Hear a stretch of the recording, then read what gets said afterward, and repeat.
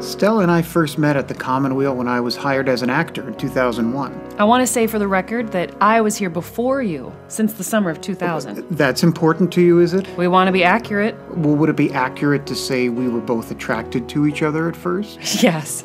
But I didn't think you were my type. Well, I didn't really think you were my type either. But we became friends and would do things together. And after a while, I started to think eh, maybe you were my type after all. And that's when I let you kiss me. You practically asked me to. Practically is not the same thing as actually. Hmm, so then we started dating. And working together, and getting married, and starting a family. But we hardly ever acted together in the same show. A couple of times, but not like this. This is just the two of us, telling the story of special friends who meant so much to each other, but whose lives wandered off in different directions. But they always stayed in touch. Years and years of letters. Years and years of love letters.